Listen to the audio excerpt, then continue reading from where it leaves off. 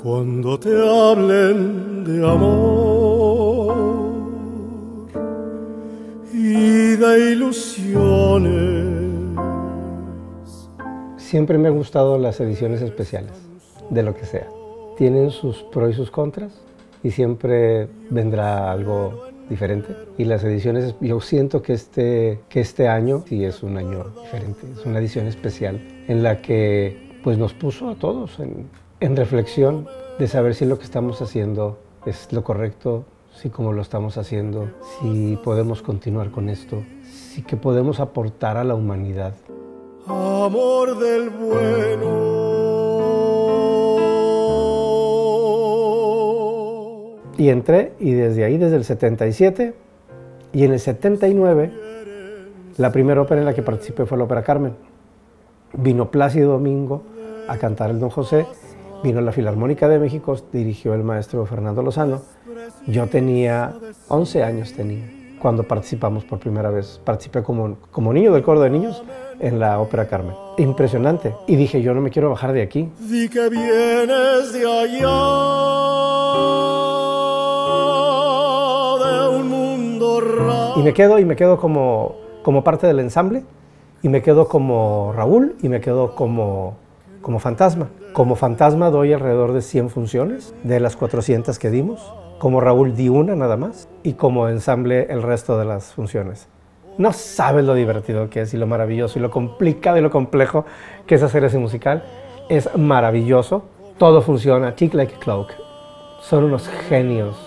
Es un parteaguas. Ese musical es un parteaguas en mi vida. La gente me dice, es que a lo mejor es el único que has hecho así grandilocuente. Y que tú te recibiste ocho veces de diferentes universidades. O porque siempre hablas de que eres egresado de, de Harvard. Te, te recibiste hace 40 años de Harvard y sigues diciendo que te recibiste de Harvard. Bueno, yo me recibí de, del fantasma de la ópera hace 20 años. Es lo mismo.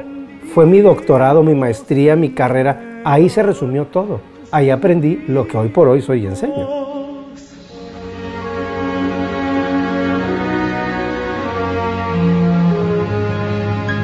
Dentro de la ópera y dirigiendo, eh, el maestro, el director Guido María Guida, yo estaba, estábamos haciendo Traviata, yo hacía el Barón Dufol y en la comida me dijo Raimundo, me dice necesito que hoy en la tarde dirijas el tercer acto de, de la Traviata.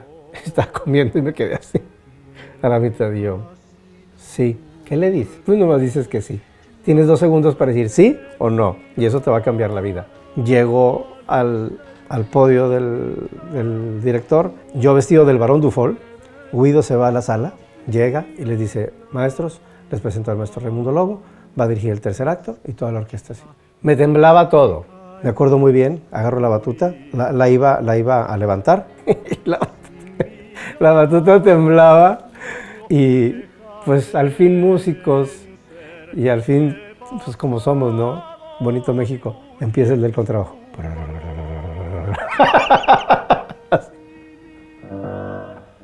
haciendo un trémolo mientras la, la batuta me, tem- me- me temblaba.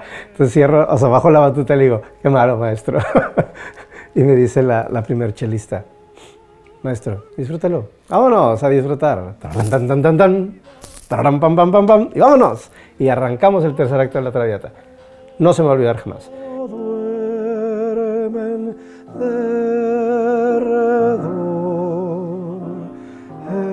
Un mundo nuevo.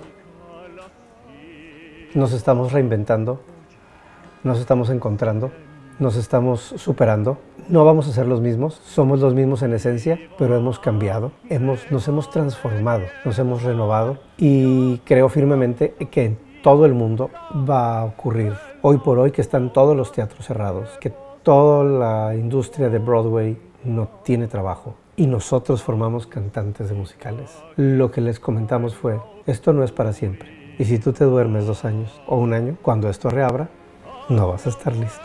Alcen su luz, viene anunciando al niñito Jesús. Brilla la estrella de paz